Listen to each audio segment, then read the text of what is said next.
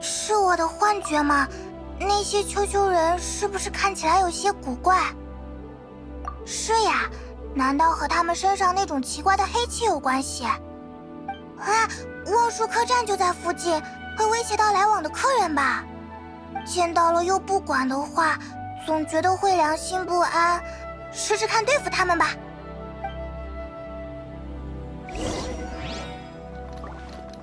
无聊。固若金汤。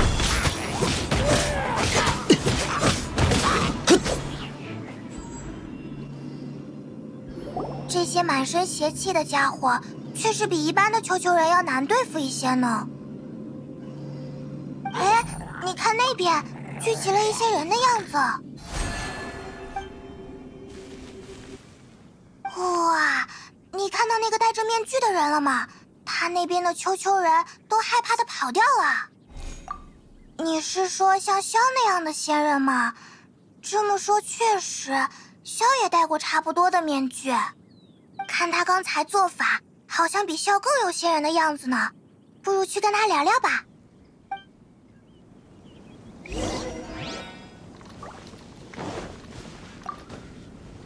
你好，我们是。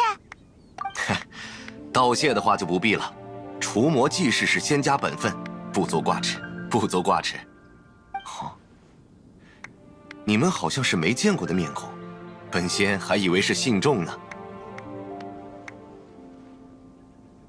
我叫派蒙，这位是我的旅伴。原来如此，那本仙也当介绍一下自己，才合礼数。本仙乃是多星绝尘天君，也即是信众们口中的星辰天君。此番本仙下山济世，相逢有缘，若二位有什么心愿，无妨说与我听。心愿？天君你还能帮人实现愿望的吗？我本来以为璃月的仙人都只是打架厉害。哈哈哈哈毕竟天君比真君在仙位上高一级，鼓吹自己的神通并非本仙作风。二位不如与几位信众聊聊，再做评判。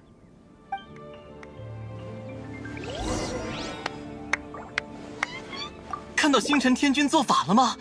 真是神通广大。家父的病。想必也有指望了吧？见到那样的法术，还有什么好怀疑的？当然是真真正正的仙人。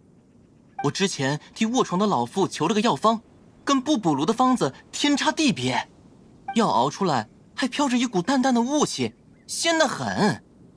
虽然也可能是加了冰雾花的缘故。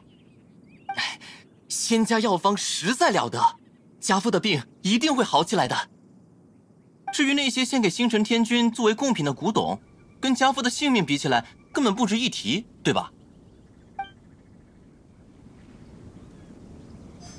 随意和他们聊聊吧，本仙从不自吹自擂，是非都留给他人评判。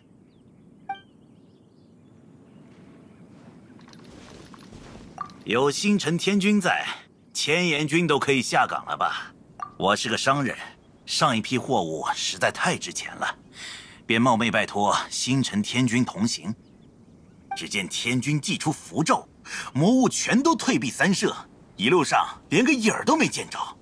虽说费用方面确实贵了点儿，但毕竟请仙是件大事嘛，也不知道你们外国人能不能负担得起。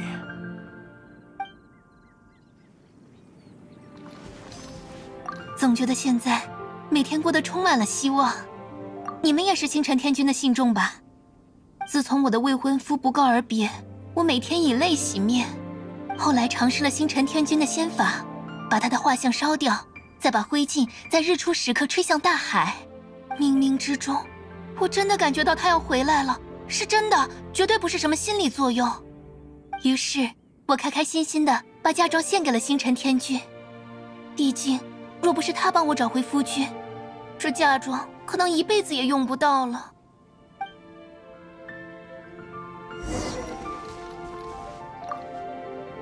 如何？信众们可能有些言过其实，但都是肺腑之言。阁下说笑了。有位仙家高人薛无量，人称量子，他曾经说过：“万物本是纠缠在一起，心理作用亦是一种魂魄与事物结局相连接的因缘。”也就是说，他们的愿望都已经走上了通往实现的正轨。这样讲，明白了吗？完全听不明白，但总之，他们的愿望都能实现，是吧？嗯，没错，这位小友悟性很高啊。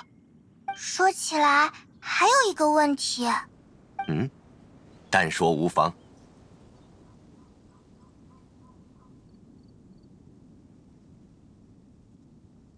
本仙游历民间，济世行善。不露真容，只为少生事端而已。原来如此，原来如此。那么，二位的愿望是什么？嗯，这背后一定有段悲伤的往事吧？好吧，想要实现这个愿望也不是不可以，只是还差了那么点意思。差了点儿意思。哈哈哈哈仙道但凭悟性，若二位参不透我话中之意，那就恕本仙难以相助了。怎么办？我还是不明白他说的意思呀。哦，刚才那些信众们好像也提起过，请仙人帮忙要付出不小的代价。可我们两个身上也没什么值钱的东西，甚至你连神之眼都没有。哎，不如我们做些好吃的给他，没人能抵挡美食的诱惑吧？嗯，好吃的，这个办法肯定能成功的，嘿嘿。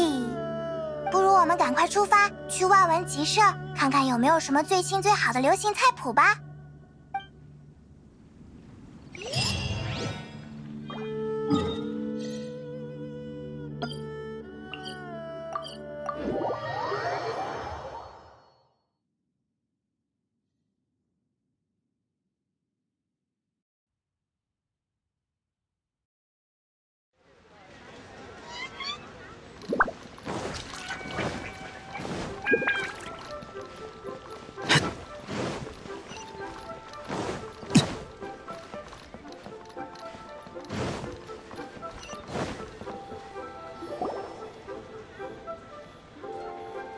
就要这一本吗？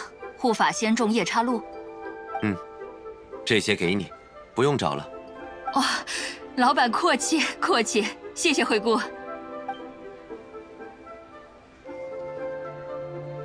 这不是那位多星缺尘天君吗？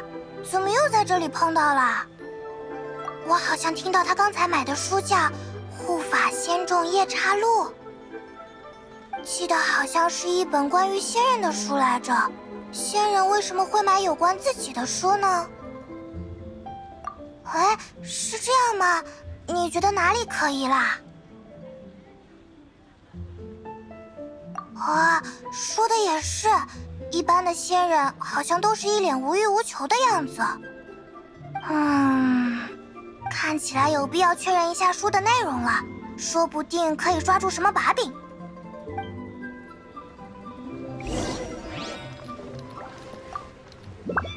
你好，我们想要一本《护法仙众夜叉录》。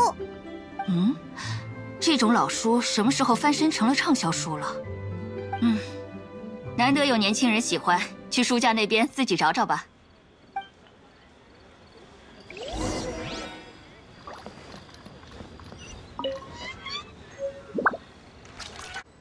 就是这一本，赶快打开看看，讲的是什么吧。太古年代，离月瘴疠丛生，遍布妖异。战败魔神朽烂的残躯，将憎恨与怨怒散布尘世，化为妖邪。每当妖邪躁动不安，瘟疫、鬼怪与异变就会随之而生。于是，阎王帝君唤来仙人中的夜叉，除灭妖邪。他们向阎王立誓，为护法而杀生，除灭诸多苦厄，如是经年。在漫长的血战之中，他们也难免被业障拘束，被魔神的遗恨污染，或陷入恐惧而发狂，或自相残杀而死，或走火入魔。最为强大的五位仙众夜叉，三位死于非命，一位不知踪迹。历经千年劫数，唯有一位降魔大圣尚存尘世，也唯有月夜时分，孤云阁的浮光与荻花洲的吹笛人，尚且记得他的身影。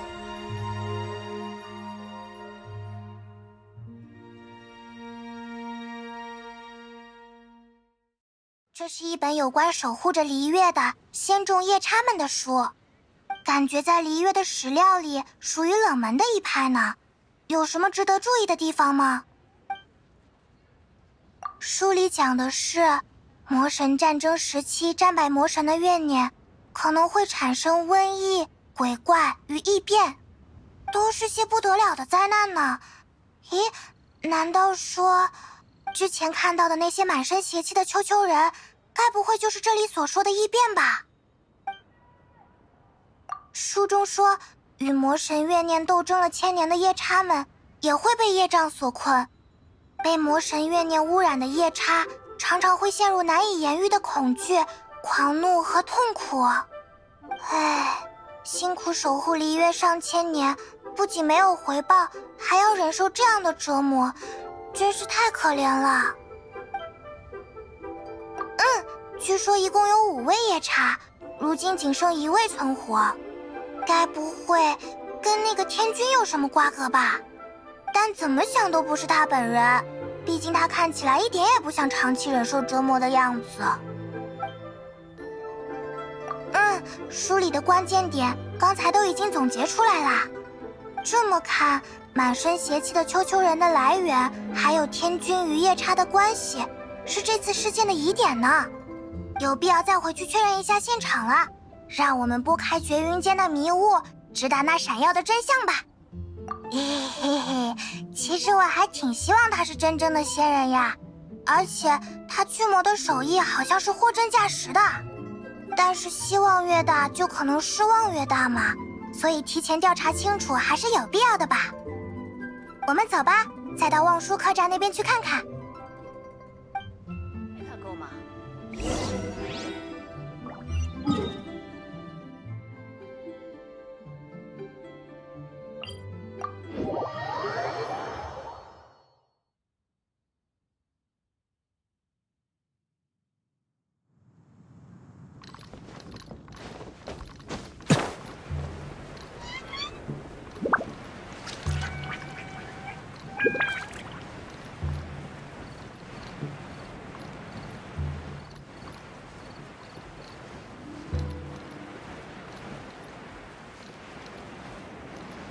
无能。如我敕令，恶鬼退散。退散！快，快退散啊！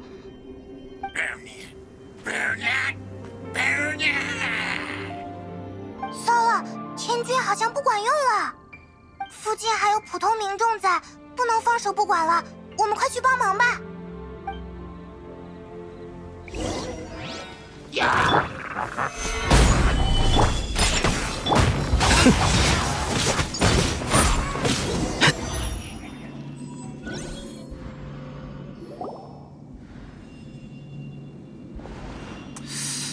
怎么会的？百无禁忌路怎么会没有效果呢？这些丘丘人身上的邪气又变强了吗？百无尽记录，好像有点耳熟。对了，是那个仙人的信物，上面一定残留着仙人的力量，怪不得他上次能用这个把怪物吓跑。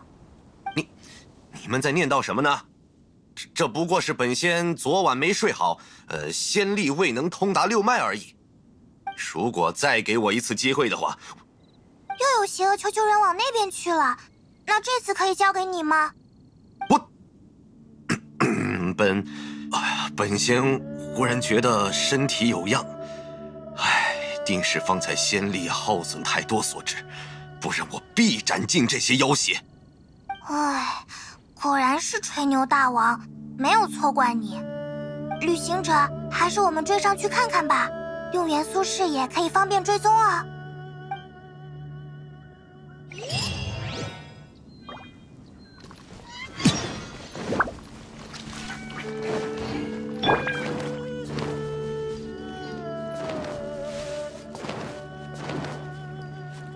嘿，咦，是那位降魔大圣呀！怪不得已经把那些丘丘人解。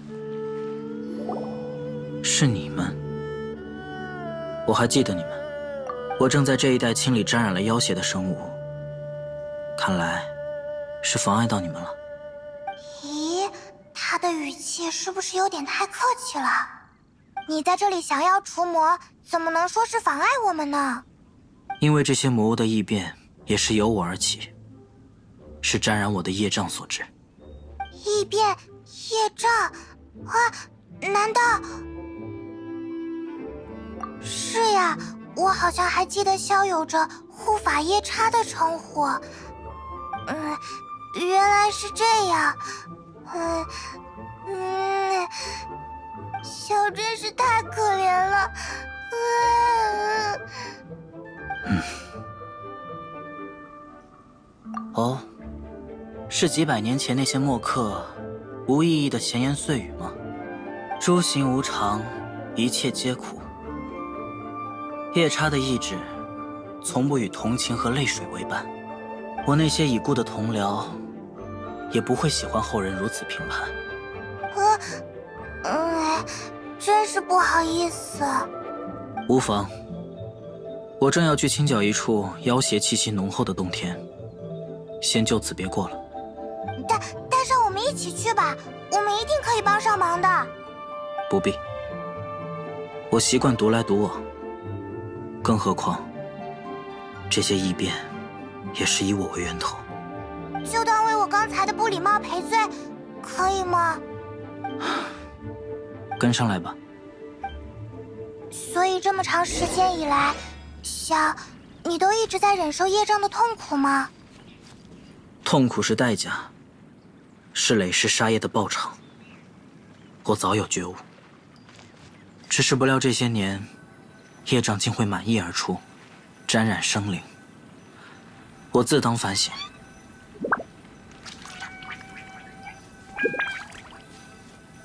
做好准备就进去吧，不要放任那些妖魔太久。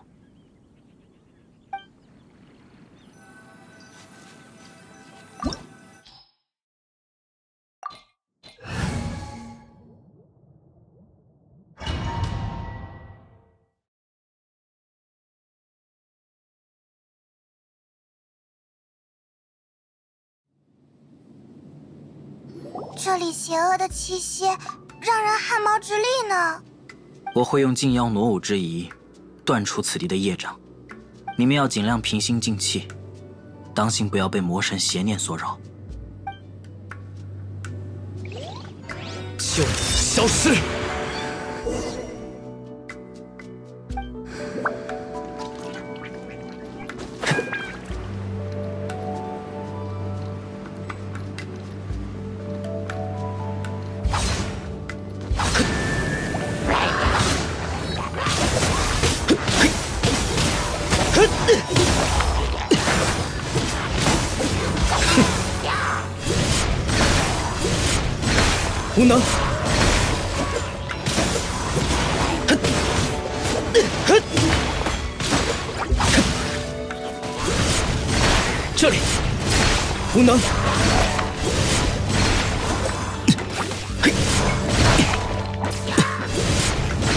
这里。星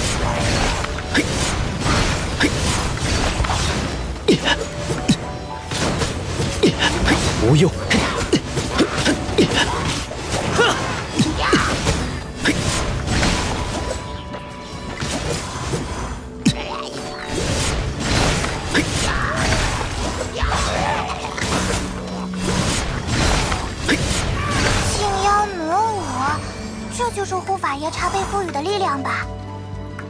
说起来，萧只会在魔物面前戴起面具，而那个多星绝尘天君却总是故意以面具示人。多星绝尘天君，从没听过的仙名。是一个无耻的骗子啦！先专心战斗吧，一会儿再聊这个话题。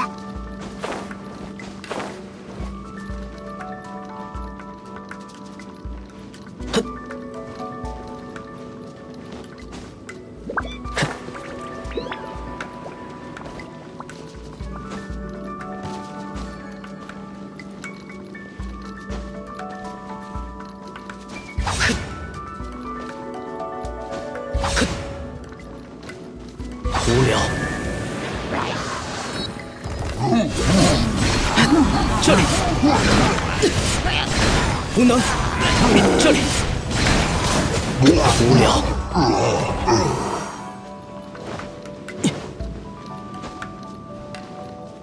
不用。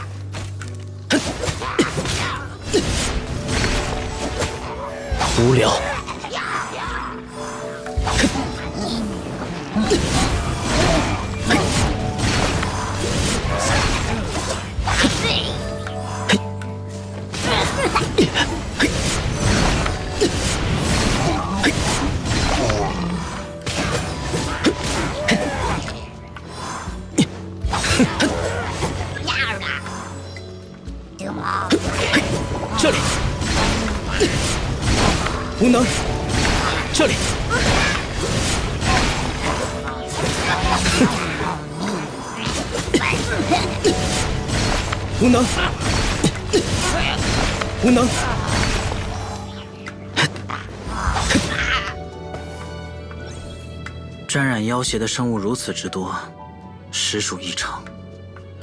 若不是早来清剿，后果不堪设想。方才你们提到的多星绝尘天君是怎么回事？我来说给你听。那些人居然会被实现愿望的仙人这般狂语所骗。那么，作为仙人的萧会有实现愿望的能力吗？曾经的璃月可不会对我们提出这种不劳而获的要求。数千年前，璃月仙民需要的是可以守护这边栖身之地的力量。可是，对这个时代的人们来说，确实是实现愿望的仙人更有吸引力吧。但不论这个时代有多软弱，都与我无关。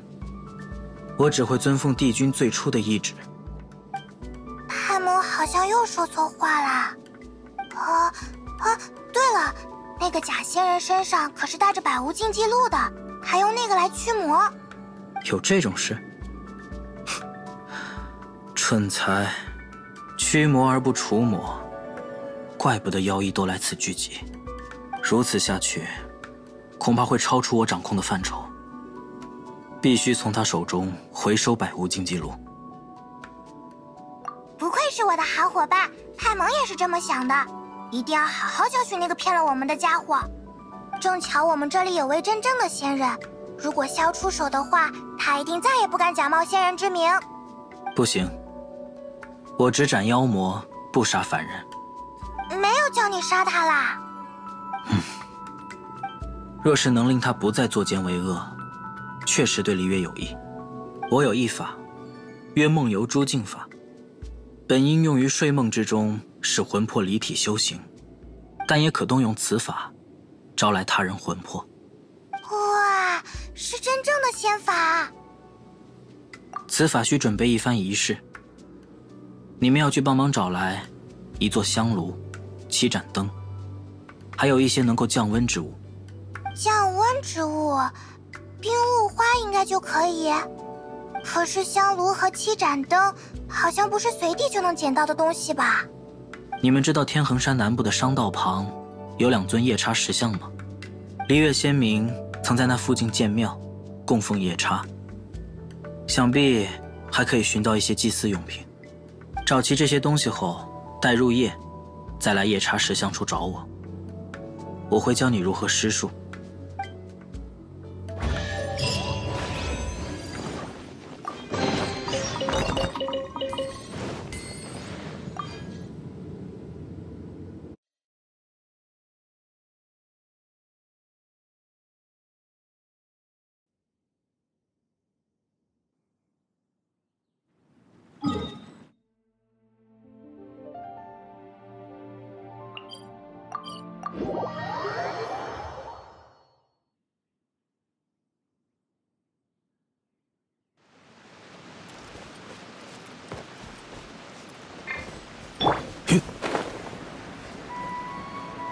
逍遥，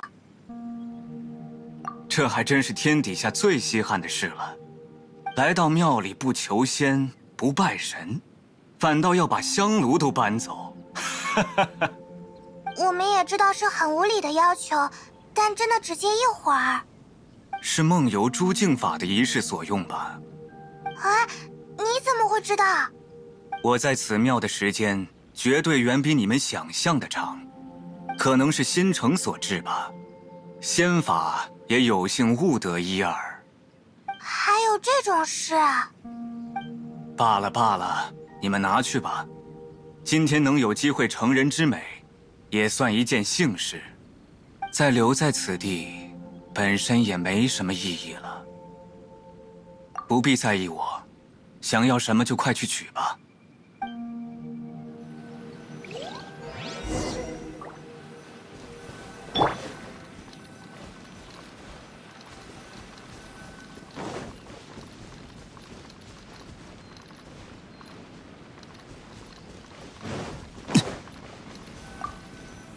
这个香炉应该没问题吧？至少不像这座庙一样破破烂烂。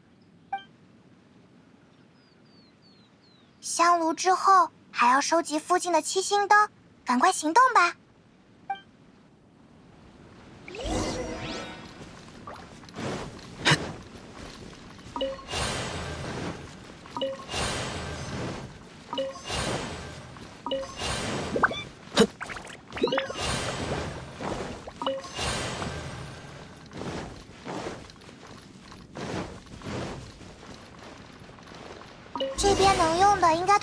齐了，走之前还是和那位先生打个招呼吧。哎，怎么没人了？之前明明就在这里的。想不到你们还会在意我的去向，本以为你们拿了东西便会走了。啊，是刚才那位先生的声音。你你在哪里呀？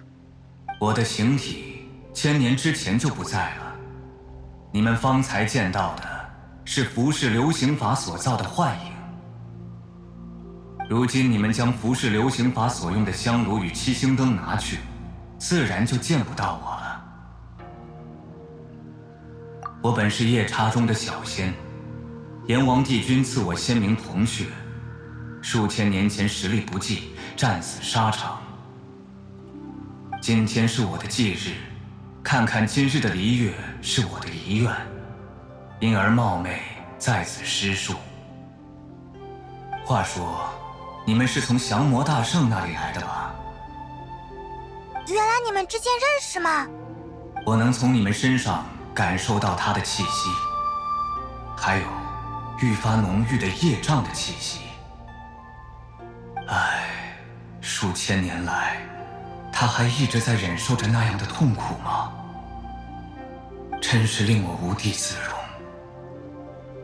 别这么说，铜雀先生不是为了璃月献出了生命吗？性命虽然珍贵，但比起降魔大圣所承受的，死亡不过是一种苟且偷安而已。铜雀先生，哈哈哈。真是不好意思。生日要快乐的度过，但忌日就难免感伤吧。服饰流行法的效力也快散尽了，请二位珍重替我问候降魔大圣。唉，好想再吃一次正宗的烤翅虎鱼啊！惊涛入海觅吃虎，风雪归山斩妖邪。已经完全消失了吗？真希望能有人记住这位名叫铜雀的夜叉呀！我们也走吧，等以后有空了再来上炷香吧。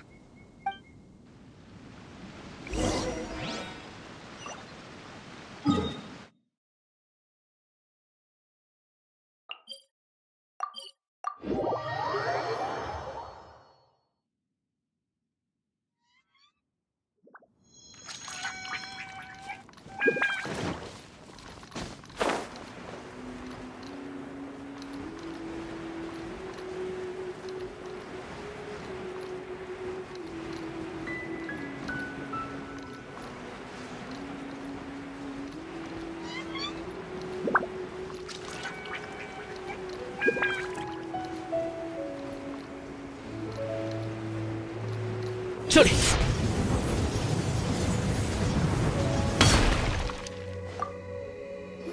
仪式道具已经备齐了吗？这香炉和七星灯的式样很完美，简直像是为仙法特制的。你们从哪里弄来的？而且铜雀先生托我们向你问好。铜雀，原来是他，确实有他的风格。果然。铜雀也放不下璃月吧？但愿璃月今日的光景，可以让他放心安息。那么现在开始仪式的准备吧。香炉至正中尊位，七星灯散落周围，极寒之物于其间点缀。安排好之后，我们再继续。嗯，如此便可。接下来是梦游诸境法的关键。施术的过程共有四个环节：献香、冥思、施咒、放矢。啊，还要这么麻烦呀！仙法乃是绝云仙人千年所悟，其中玄奥颇深，切不可轻慢，否则可能反噬自身，魂魄离体，难以复归。对不起，我又说错话了。献香。就是在香炉上香一炷，心怀对阎王帝君的敬畏；冥思，断绝一切杂念，将施术对象的形象在脑中定格；施咒，厉声将咒文念出，地婆夜叉，三尸压来；放矢，对两尊夜叉雕像各射出一箭，作为使役的契约。没有意外的话，片刻后。那人的魂魄便会出现于此。没有疑问的话，就赶快开始吧。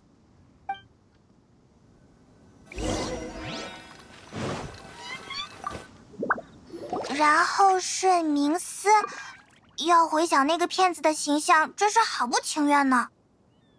嗯，嗯，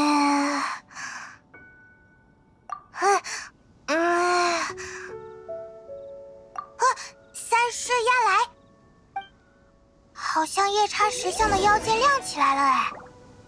朝两尊石像发亮的地方分别射一箭就可以了吧？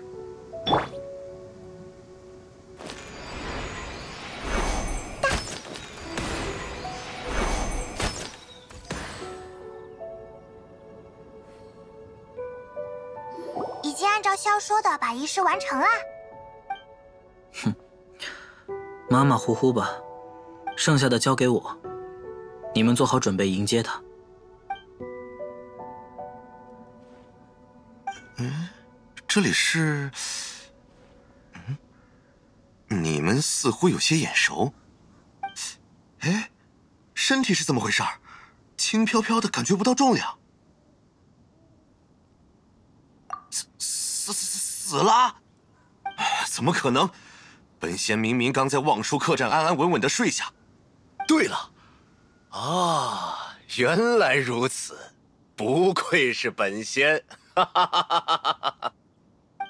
本仙一定是在做梦。嗯，对这个无可救药的人，似乎没法达到预期的效果。哦，你们想怎么样？在本仙的梦里，岂能容忍你等歹人放肆？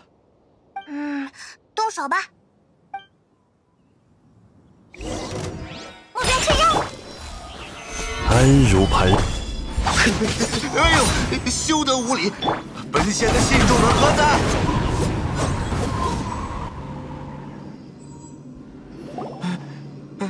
快停下！我我认输！哎呦！不敢了，不敢了，都要被你们打得魂飞魄散了。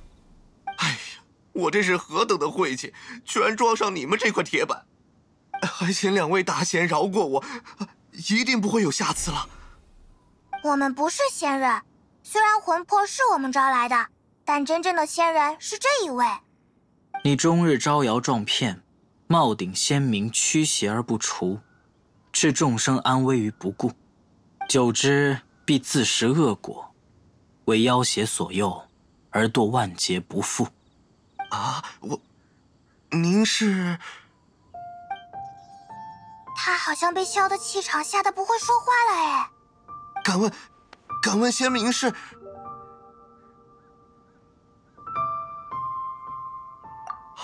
真的是您！我没想到真的是您，居然有生之年可以见到降魔大圣护法夜叉本尊。你也知道萧的事吗？当然，不如说倒背如流。我爷爷是民俗学者，我从小就是听降魔大圣的故事长大的，至今也常常在收集有关夜叉的各类书籍。可是自打从爷爷的遗物里找到了《百无禁忌录》，一开始我只是喜欢模仿仙人，装装样子，可后来就在邪路上越走越远了。还有这种往事？那这么说你是萧的粉丝喽？是是，感谢二位让我有机会见到降魔大圣的真身，简直像真的在做梦一样。其实我们也没想到这一步啦。今天我就借此机缘，在降魔大圣面前立誓，从此一定弃恶扬善，安稳度日，不再败坏仙人的声誉。我会记得你的誓言。去吧。谢谢，谢谢您的原谅，还有您为璃月做过的一切。他最后的誓言很诚恳呢，应该真的不会再招摇撞骗了吧？对了，百无禁忌录还没回收，就交给我们吧。明天一早我们就去望舒客栈找他本人。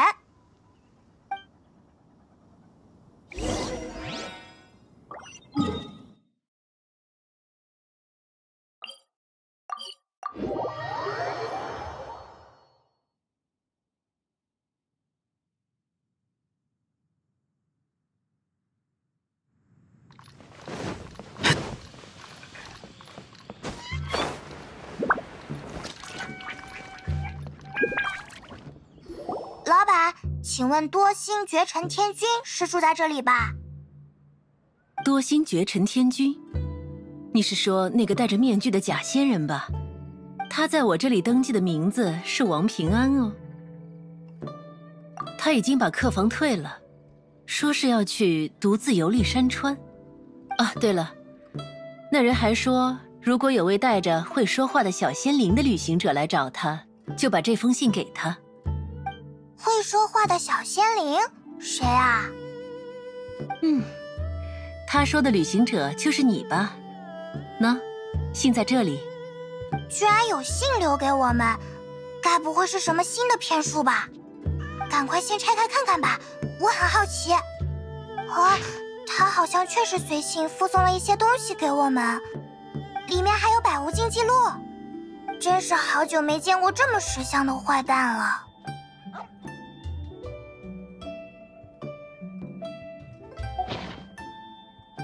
是呀，哦，对了，我们快把百无禁忌录给肖送去吧。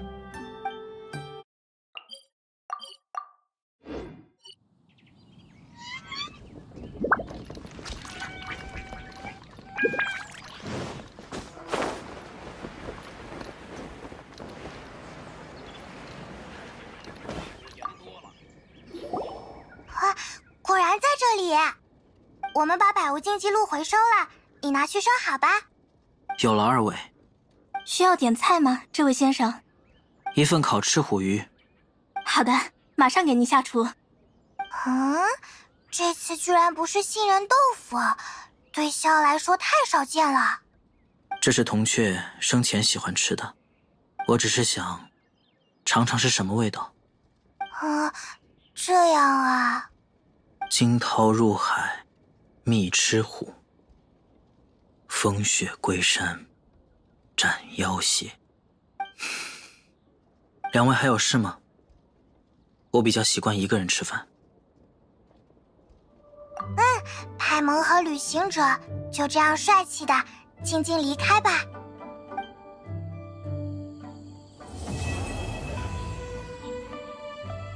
萧